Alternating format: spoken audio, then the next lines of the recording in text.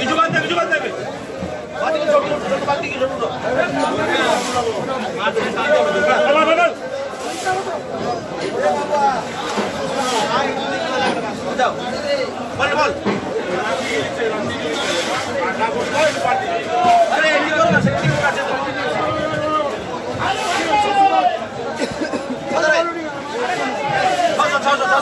अठासी अठासी सत्तर सत्तर सत्तर पसठी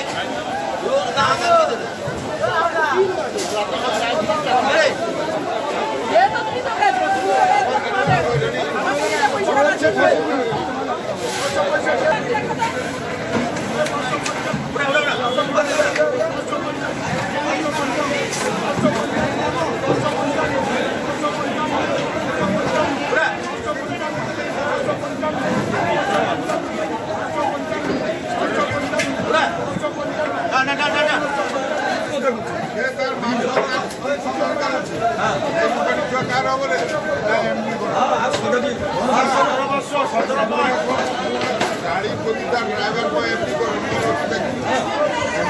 পয়সা পয়সা তার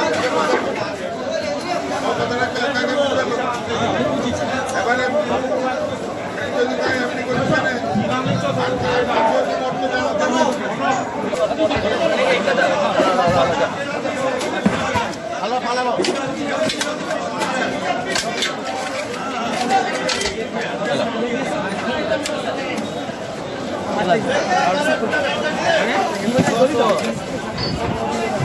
বাকি মর্যাদা গরম বলবা মাছ ভালো। আরে ওজনটা বোঝিবার জন্য দিলি ভালো তো। আরে ভালা মাছের বাপু ওই সাইজের আমি কি করে দিবা?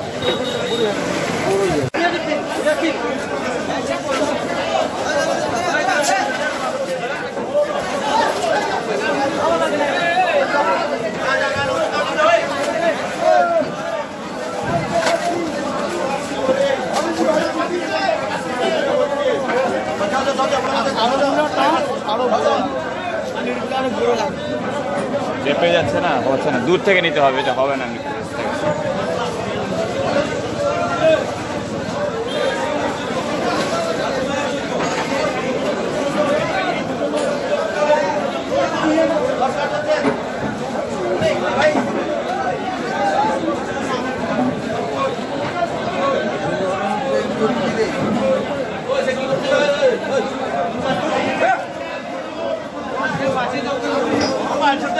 এমনি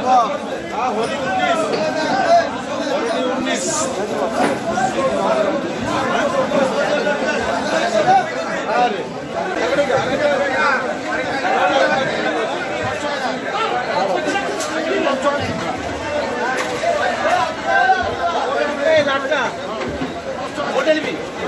ভাই আমি বলে পাঁচশো সাইজ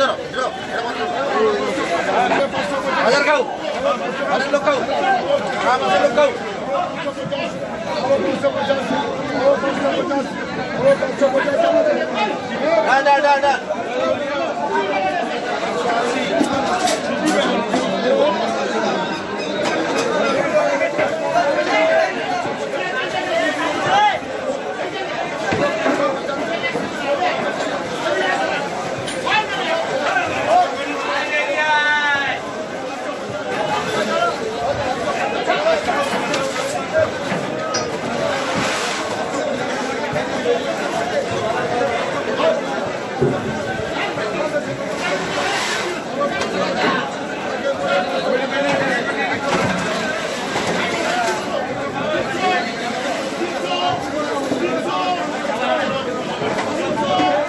ভাই একটুখানি দূর-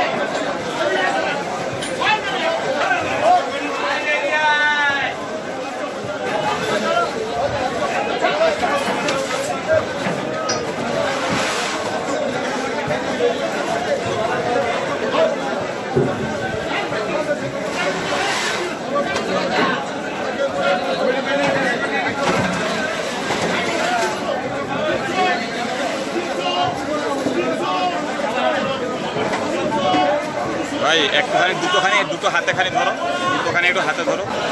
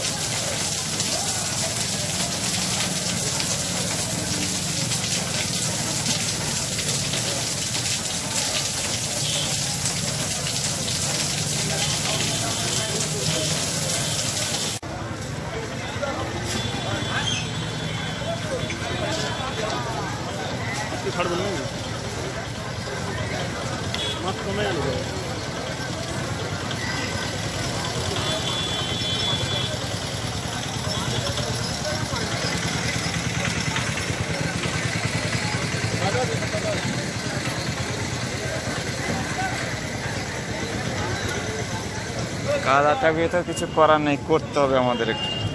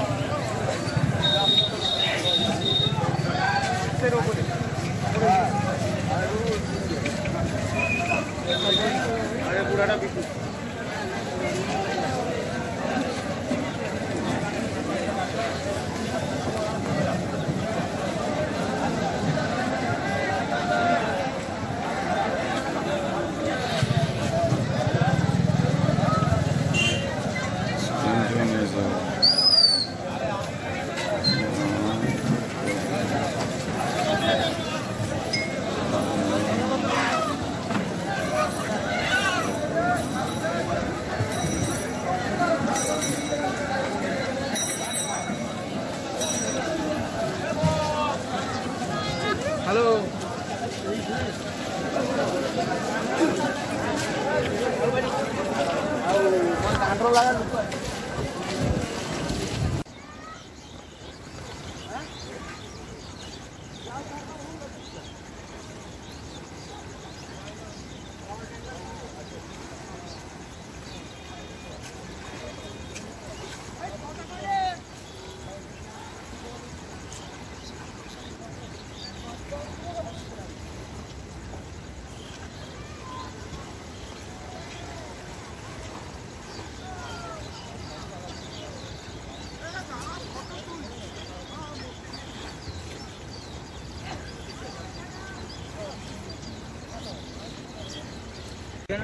ସେଇ ସମୟରେ ଉଠେଇବ ଭଲ ହେବ ଲଞ୍ଜେଗୁଲା ଆସିଯିବ ଏଠି ଧରିଯିବ ପୁରା ଅଧଘଣ୍ଟେ ପରେ ଆସିଯାଅ ଦେନେ ମୁଁ ତ ଏଇଠି ଅଛି ଦେନେ ହେଇଯିବ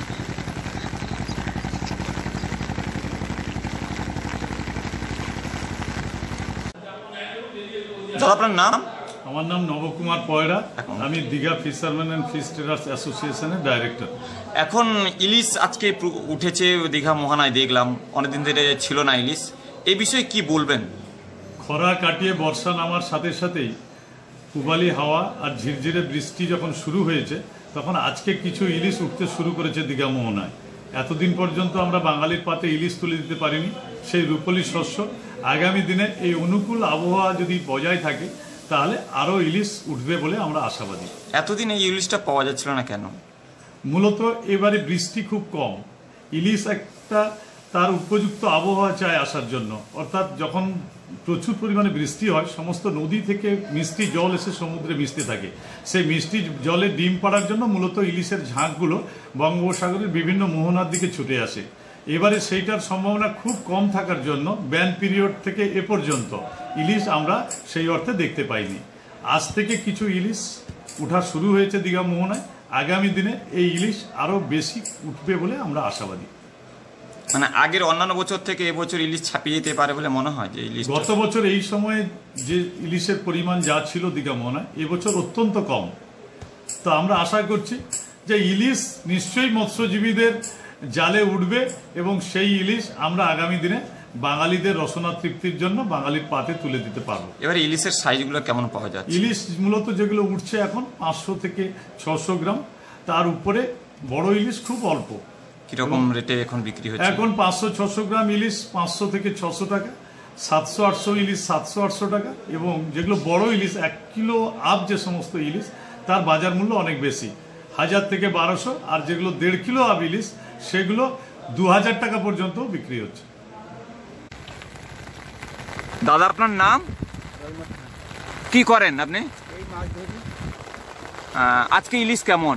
কম মাত্রা এই বৃষ্টি নেমেছে বৃষ্টি নামলে হবে ইলিশ। আজকে কত মতন ইলিশ পাওয়া গেছে? সামান্য। একদিন ইলিশ পাওয়া যাচ্ছিল না কেন? এই বৃষ্টি হয়েছিল না গরমে। এখন কম মাত্রায় এই বৃষ্টি হয়েছে এবার নামবে। এবারে কি সবাই ইলিশ পেতে পারে খাবারে? খাবার জন্য পাবে